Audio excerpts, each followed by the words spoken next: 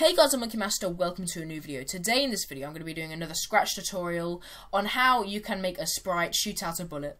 So here's what you should be able to end up with. For example, I've made a tank and I'm able to shoot bullets out straight out of the front with the bullet always facing the right direction and hiding when it gets to the end. Okay, so here's the first little bit of code, which is for our sprite, which is just a very simple circle with a uh, square on the end. Obviously, you can change it to however you want. So getting onto the code, we have the up arrow, and it makes our character go up as normal, and down makes our character go down. Obviously, you can change... Uh, the different uh, speeds. But this time the left arrow actually makes the sprite turn around. So this means uh, our movements to be more precise rather than just going, uh, you know, that way, that way, that way, and that way. We can turn around to whichever angle we want, as is shown there. And because we'll need this in the future, I've made a variable which is for all sprites and it's called tank direction. Then you just need to put set tank direction to direction and if you put on show, it should appear at the top. Okay, so now onto the bullet. This is just a very small square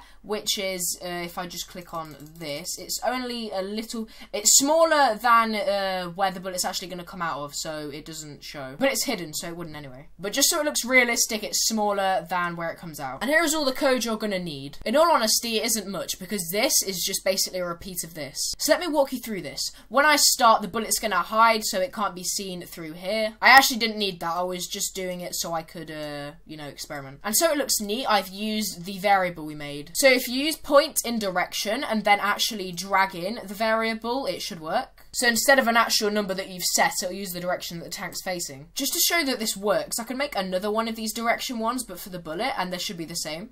And there you go. Now I've done the exact same thing. When you turn around, the position is the exact same on both of them.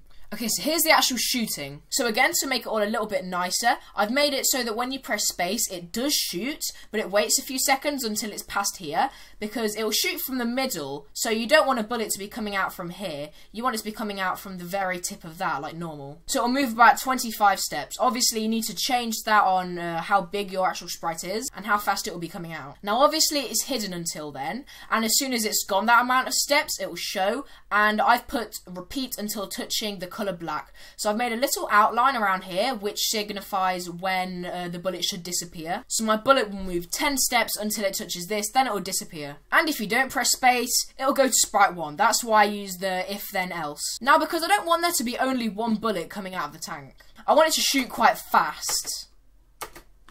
So I've put another if key space pressed then, then I've put wait one second. So this is actually going to be going on while this is happening. So that everything happens a lot faster and you'll be able to shoot another bullet while that one is still through the, the air.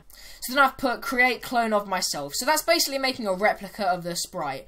And the when I start as a clone is basically the when uh, green flag clicked for this one, the original. So basically, seeing as it's all going to be repeated, I've literally copied the exact same thing onto this. So that means you'll be able to shoot bullets for a while.